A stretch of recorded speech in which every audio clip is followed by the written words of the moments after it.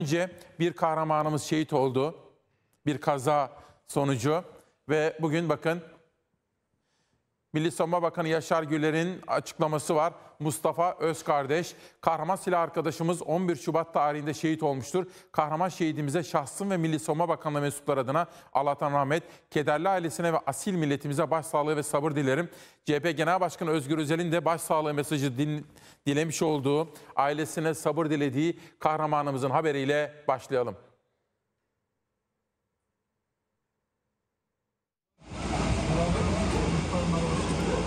Ateş bu kez Kütahya'ya düştü. Pençe Kaplan operasyon bölgesinde görev yapan piyade sözleşmeli onbaşı Mustafa Özkardeş meydana gelen araç kaza sonucu şehit oldu. Şehidin ailesinin evine Türk bayrakları asıldı. İran kuzeyinde sürdürülen Pençe Kaplan Harekat Bölgesi aracın devrilmesi sonucu piyade sözleşmeli onbaşı Mustafa Özkardeş şehit oldu. Şehidin haberi Kütahya'nın Altıntaş ilçesine bağlı Gecek köyünde oturan ailesine verildi. Oğlunun şehit haberini alan anne Necla ve baba Necmettin öz kardeş çifti gözyaşlarına boğuldu. Ailenin yaşadığı köy evine Türk bayrakları asıldı. Şehit haberini Milli Savunma Bakanlığı sosyal medya hesabından duyurdu. CHP Genel Başkanı Özgür Özel de Özkardeş ailesi için taziye mesajı yayınladı. Mustafa Özkardeş yaklaşık 6 yıldır sözleşmeli olarak görev yapıyordu. Özkardeş'in ailenin 3 çocuğundan biri olduğu öğrenildi. Yakınları aileye taziye ziyaretinde bulundu. Şehidimize Allah'tan rahmet diliyorum. Ailesine, memleketime, Kütahya, ulusumuza da başsağlığı diliyorum efendim. Biraz sonra siyasetteki gelişmeleri irdeleyeceğim. Ankara'dan da Ankara temsilcimiz Sibel Erdem'le bir bağlantı yapacağız. Özellikle CHP'de neler yaşanıyor? Bugün kritik bazı yerlerde adaylıklarla ilgili saptamalar var. Tabii şunu da ifade edeyim. Gökhan Zan'ın tipten adaylık teklifi aldığını ilk defa kamuoyuna biz duyurmuştuk. Ve bugün büyük olasılıkla Gökhan Zan ismi tip ve pek çok oradaki ortak oluşumun Hatay Belediye Başkanı adayı olarak açıklanacak. Acaba CHP buna karşı nasıl bir hamle yapacak? Bunun dışında da tabii ilginç gelişmeler yaşanmakta. Mesela CHP'nin Çankaya'daki adayı söz konusu. Gerçekten de söylendiği gibi Hüseyin Can Güler mi olacak? Hüseyin Can Güler olursa, İrfan Değirmenci Çankaya'dan tipin adayı olursa neler olur? Bütün bu gelişmeleri de değerlendirmekte fayda var. Gerçekten Özgür Özel yönetiminde CHP'nin çok ciddi sınavları var. O sınavları nasıl verip vermeyecekleri hem 1 Nisan'ı hem de 1 Nisan sonrasını şekillendirecek, etkileyecek. Özgür Özel'le yaptığım temaslardan edindiğim izlenimleri Halk TV.com.tr'de yazdım. Şu anda Özgür Özel ne arıyor başlıklı bir yazıda.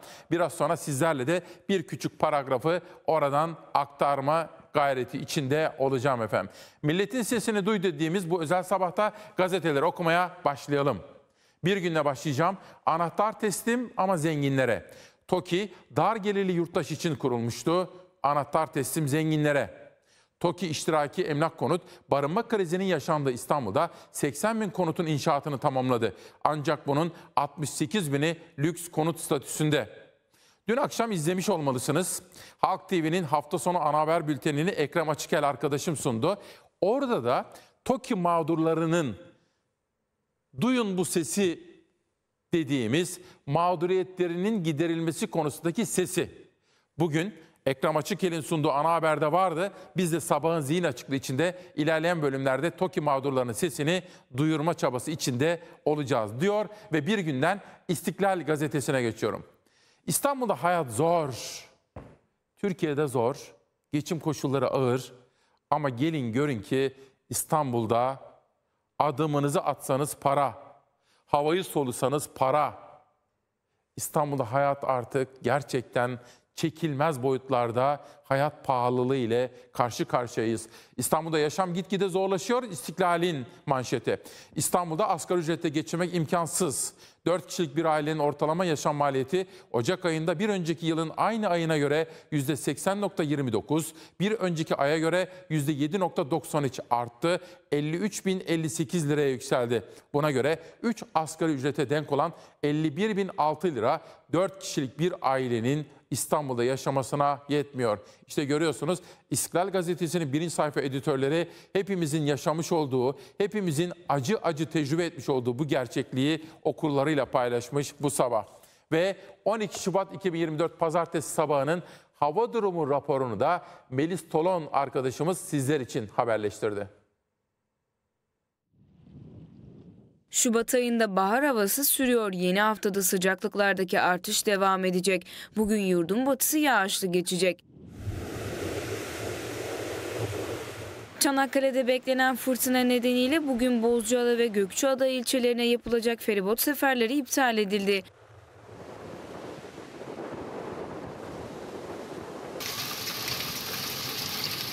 Muğla'da sağanak vardı. Bölgede birçok tarım arazisini su bastı. Ekipler çalışma başlattı.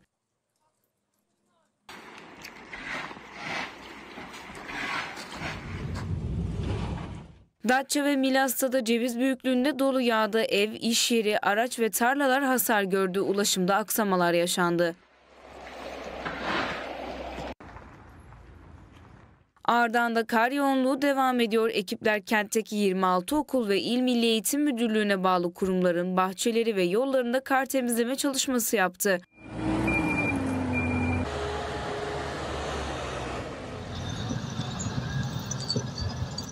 Hakkari'de de kar kalınlığı 5 metreye ulaştı. Kapanan yollarda çalışmalar sürüyor.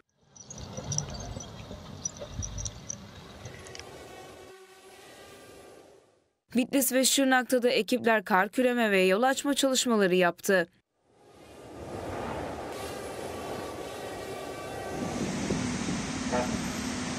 Haftanın ilk günde yurdun batısı yağışların etkisinde olacak. Sağanak ve gök gürültülü sağanak şeklinde görülecek. İç ve doğu kesimlerde pus ve sis bekleniyor. Doğu Karadeniz'in iç kesimleriyle Doğu Anadolu'nun kuzey ve doğusunda çığ tehlikesi bulunuyor. Sıcaklıklar yağışlara rağmen artışını sürdürecek. Bugün Ege'nin kıyı kesimleri ve Trakya'da yağışlar kuvvetli ve şiddetli. Rüzgar Marmara, Ege ve Batı Akdeniz'de kuvvetli zaman zaman fırtına şeklinde esecek. Ani sel, su baskını, yıldırım, ulaşımda aksamalar, yerel dolu yağışı, kıyı kesimlerde hortum riski, çatı uçması gibi olumsuzluklara karşı dikkatli ve tedbirli olunması istendi. İstanbul haftanın ilk gününe yağışlı bir başlangıç yapacak. Sıcaklıklarda artış devam edecek. Lodos kuvvetli esecek. En yüksek sıcaklık 17 derece.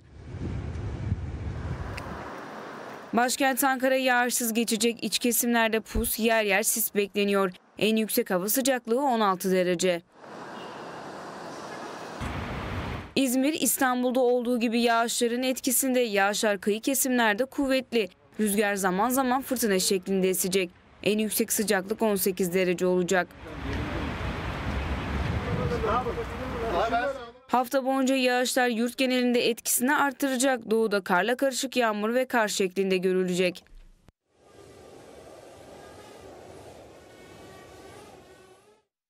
Evet gelen mesajları okuyorum efendim. Hastalarımız var. Çok geçmişler olsun diyorum. Bu arada Arzu Hanım da sormuş. Özgür Özel'in yapmış olduğu açıklamaları da irdeleyeceğim. Sizlere aktaracağım özel haberler. Bunun dışında AK Parti'nin ve CHP'nin İzmir'deki adaylarıyla da konuştum. Hamza Dağ yarın adaylık projelerini tanıtacak. Cumhur İttifakı'nın adayı ve Cemil Tugay'la da konuştum.